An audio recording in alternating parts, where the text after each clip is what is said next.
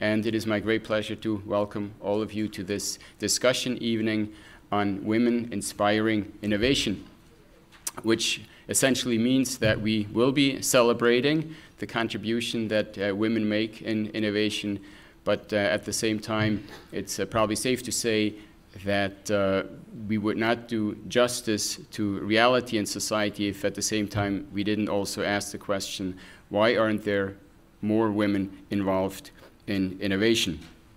Shanice, I have had the honor of sharing many journeys of women who inspire around the world, but your story is truly humbling and awe inspiring. You have blazed a trail not just for yourself, but for your peers and for generations who come after you. So, in their interest, the role model that you are, the dreamer that you are, I want you to share with them a call to action that will inspire them to do what you have done, to dream what you have dreamt, and to continue to inspire their peers and those who come after them. My new goal is to inform all young ladies in DC public schools and out of other country to be interested in science and get out of that little motive we have of doing fashion and hair. I want us to be interested in science and go out and explore.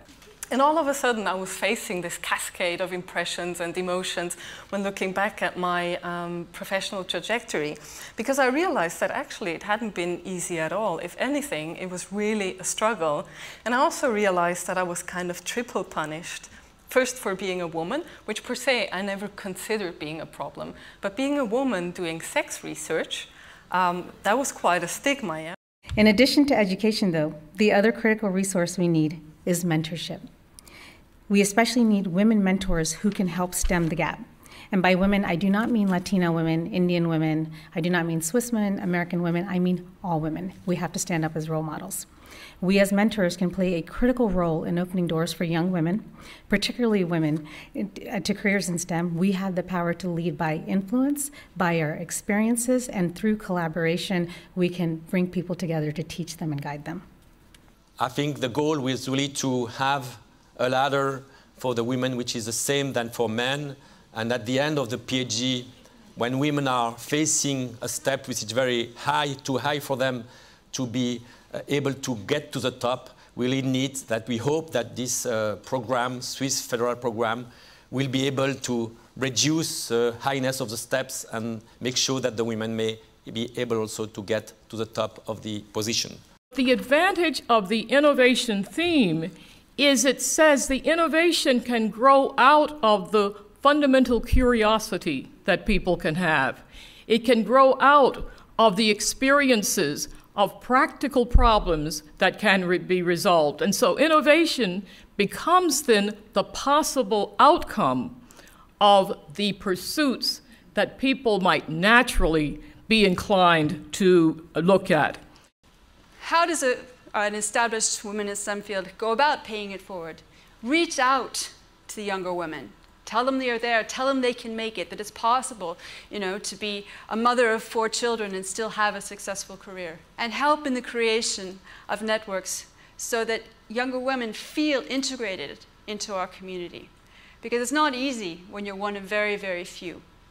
We need champions. We need to be the ones as leaders in STEM fields, whether you're male or female, who are going to put yourselves on the line to help out somebody who's earlier on their, in their career. You're going to be able to take the risks for them, stand up for them, vouch for them when maybe they're not the most experienced person who uh, has been on all the high profile teams. But you know that they can do it and you're willing to give them a chance. So what's exactly soft robots? I don't know if you get the reference of Barbapapa world. This is the world where if you don't have something, you create that by your moving your body. So if you want a violin, you transform your body into violin. You interact with the world. And this is how our world works. for every living um, cells or um, living beings, they react to stimulus, they react to the environment, they react to the force that's, against, uh, that, that's applied to your body. And that's how you prove that you're alive. I want to dedicate this, uh, this event tonight um, uh, to all the courageous uh, women and all the courageous leaders who, have, um, who make it possible uh, for, for us to have a, a better integrated uh, society, I think, but also definitely in the, in the field of STEM.